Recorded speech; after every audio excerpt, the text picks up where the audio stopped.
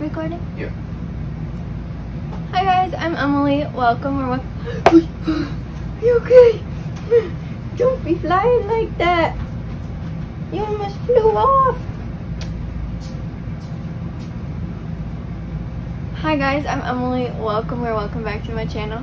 Today I am going to be doing the mid-year book tag. Basically, I'm just going to be talking about the books that I have read in the past six months and what I think about them. And I have a few questions and I'm going to be answering them. Some of the books I do not have the physical copy just because we moved and I have not put my bookshelf together yet. And hopefully I do that soon and I get to show you guys it better. But for now, I have a bunch of books that I don't have physically, but then I also have a bunch of books I have physically. So I will be just showing you pictures of the books if I do not have them physically, but if I have them physically, I will be showing you them physically. okay, so the first question is the best book you've read so far in 2024. So I have two books that I have really enjoyed so far this year. And one of them is The Vengeance of a Pirate Queen, which is just about pirates and it's like the third book in a series. I'm gonna be honest, the new covers came out and I did not really like them just because they have like people on the covers and I, I don't know. The old covers, which I'm gonna also puff up, just look better because they're so cartoony and that's the reason I decided to read the books because of the cartoony covers, not because of the people on the covers. And I was just like, you know what? Also, the third person, the, the third book is about a different person than the first two books are about. And I was like, you know what? I'm not interested in reading someone who is not really like the main character in the book, but I actually really enjoyed it, which was really surprising to me. Another book that I really liked, well, it's kind of like a series, but the other books that I really liked are the Once Upon a Broken Heart series, The Ballad of Never After, and then A True Love's Kiss, A True Love, A Curse for True Love. And then Once Upon a Broken Heart, which I do not have physically, but I'll pop it up on here. But these three books are also some of the best books I have read in 2024 so far. I really enjoyed them, and I am sad that it is over. The next question is best sequel you've read so far in 2024. Well, one of the best sequels that I have read so far in 2024 is The Hawthorne Legacy, which is a part of the Inheritance games. I read the Inheritance games in the beginning of this year and I've slowly been going through the series, but I loved the second book. Like, I just loved the second book. I feel like I liked it more than the first one just because I already knew the characters and so on and so forth. And then also, I'm going to repeat it, but The Ballad of Never After by Jennifer Lynn Barnes, just, not Jennifer Lynn Barnes, The Ballad of Never After by Stephanie Garber just because I love Jax. Jax is one of my favorite fictional characters, or main male characters, and this one was so good. It was so much more interesting than the first one, and I loved it. The next question is new releases that you have not read yet but want to. I have a bunch of new releases. I just haven't had time to get to them. But I have three physically that I want to get to because I want to get through my physical TBR before I buy any new ones. So I have This Summer Will Be Different by Carley Fortune. I got this one recently in a book vlog, not a book vlog, in the shopping, a Barnes & Noble shopping vlog. And I want to get to this one. And then Not in Love by Ali Hazelwood recently came out and I have been wanting to read it so bad just because Ali Hazelwood is an auto-buy author and I just love a lot of her books and I just want to continue to be in her writing. The next book is the the Rule Book by Sarah Adams. I've had this one for a while on my physical TBR now ever since it came out and I bought it but I haven't gotten to it so I want to read it and it is on my list of books I want to read in 2024. I know it's not that new of a release, but it's pretty new release this year, so I want to get to it and read it. Most anticipated releases in the second half of this year is The Darkness Within Us by Tricia Levenseller, which is an author that I talked about in the first question, but she's coming out with a sequel or a second book to this series, which I'll put up both books so you can see it. And I am so excited because Tricia Levenseller doesn't have very many books out, and the books that she has out, I have read all of them. And I love her writing, and I love that it's YA, so it's not very graphic, but it's still very interesting and her writing is easy to read and you just kind of like fly through the pages and you eat up the pages and it's just so interesting to be in her worlds and the way she writes and so on and so forth. By the way, if I keep looking down, it's because I have my notes here and it's just like all the questions are written on here, but don't mind that. The biggest surprise of this year, I have two. One of them is The Inheritance Games by Jennifer Lynn Barnes. I heard so many good things about the Inheritance games and I was just so scared to read and like go into it and like read the actual books. But once I started reading it, I loved all the characters. I liked Avery, Grayson, Jameson, just like Nash, Xander, all of them that were in the series. I just loved it so much and enjoyed it so much and like the stories and the plot twists and everything is just so interesting to me like just the way Jennifer Lynn Barnes' like mind works, it's making me want to read the Naturals just because I read the Inheritance Games and I love her writing. And then the second biggest surprise of this year was Bride by Ali Hazelwood. It was, I believe, her first fantasy book that she has released and it was so good. I was just nervous to go into it just because it was it was her first fantasy release and a lot of people started giving mixed reviews on it and I was like, you know what, I'll try it. And I actually genuinely enjoyed it. So that was a big surprise to me. Also, I wasn't expecting Ali Hazelwood to release a fantasy book. Uh, she's kind of more like a author who's into like engineering and science and that kind of stuff. So I wasn't expecting her to release a fantasy book. So I guess that's the reason I put it on my biggest surprise.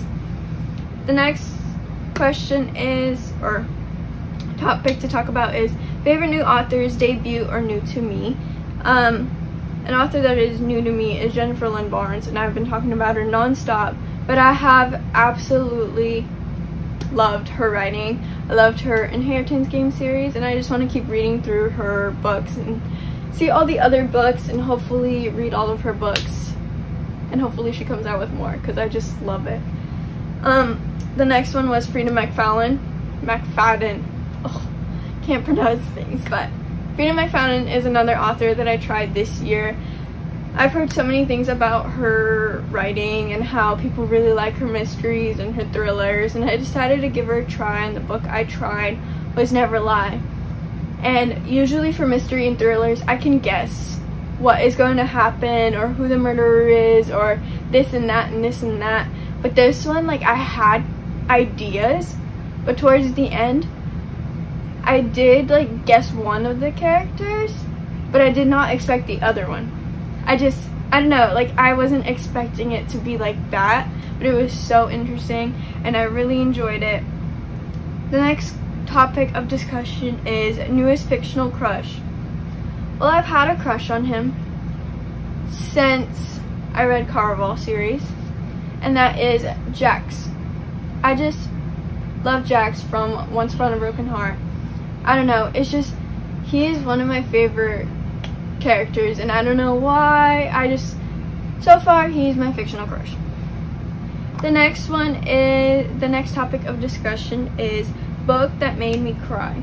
A book that made me cry recently was The, two, the Tattooist of Auschwitz by Heather Morris.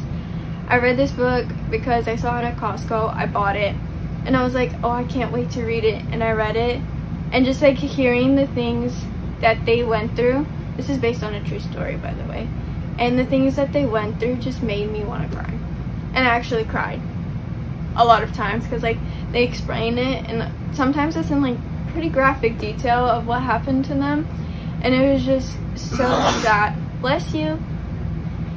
It's explained in graphic detail and it is just so sad to hear what they had to go through as well as like just hearing not only his story like because it's in the male's point of view but also seeing what he watched others experience and others went through it was just so sad and then the ending you get to see how he falls in love and it's just so cute to see the ending. And I feel like the whole book made me want to cry but towards the end it for sure made me cry. Like in some parts in the middle of the book I cried too but the ending made me cry as well. So just cried throughout this entire book is what I'm trying to say. The next question is a book that book that made you happy.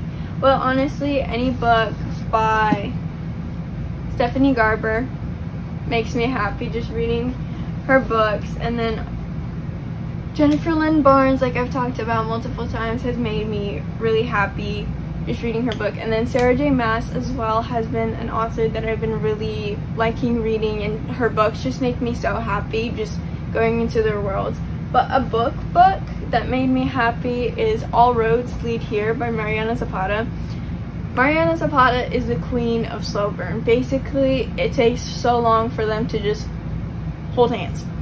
Let's just say it like that. It takes so long for her to just like have them hold hands. And this slow burn was not like any other rom-com or like even this book was not like any other rom-com. Usually there's always a second act like conflict and it's always they don't know how to communicate.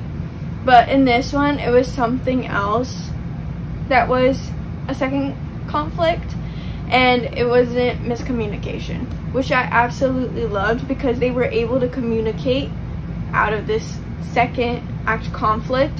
And it was just so nice just to not have to listen to miscommunication. By the way this is between Aurora and I keep forgetting his name. I could never pronounce his name too. Oh I always keep wanting to say Tobias Hawthorne, but his name is not Tobias Hawthorne. That's why I keep messing it up. It's Tobias Rhodes. Like, Rhodes in the title. And Mr. Rhodes and Aurora is just, you could see that this is not a miscommunication trope. And I really like that. And I think this is why it made me so happy because it was so nice to read something that was not miscommunication. I want you guys to check out this book. It's really good. Also, then the, the new covers are kind of cute. I kind of like them. The next, hey, you're moving my tripod, ma'am. You're moving my tripod, ma'am. Okay. The next one is most beautiful book you've bought so far this year or received. Well, I'm gonna be honest. One of the most beautiful books I got was this one because I wanted this book, but I I didn't buy it and then my husband decided to go to Costco for me and he bought it for me and inside he signed it because it was my first day of work and he got me this book and I am so happy with it. It's one of my special special books that I have received. But some of the books that I have bought are these three books. They are special because they are some of my first sprayed edges. I don't have, I don't think I have any books that have sprayed edges, but I recently bought some with sprayed edges and I am in love with them. Oh! So one, the first one is Five Broken Blades by Mali Corlin. I found out that this is her debut book and I heard many good things about it so I decided to try it. And I got the sprayed edition also I bought them at Costco so it was like half the price that it usually is at Barnes & Nobles which I'm I mean check out Costco if you have one near you and if you have a membership because a lot of the times they have really good books and the prices are amazing. The second book is Heavenbreaker by Sara Wolf heard also very good things about this one. Also all of these I read the synopsis of and I really enjoyed it and I was like I'm, I think I'm gonna like these so I'm gonna try them out. And also the sprayed dishes kind of sold me. And then the last one is the Wren the Wren in the Holly Library by K.A. Linde. Can never pronounce anything but the sprayed edition it's pretty nice. Also a lot of times like the book covers are also like really cute and interesting. And then this one also has inside artwork. It's the same thing on the back, which is kind of sad, but it's still nice and very, very pretty. I'm gonna show you the other two inside cover jackets as well. This one is the Haven the Heaven Breaker, and it's pretty like interesting. Like I love the special editions, like, and I think I'm gonna start buying a lot more sprayed edges, just because it is so cool just to see like the sprayed edges. But that was all for today's video. I hope you enjoyed and I can't wait to see you in the next one. Ciao!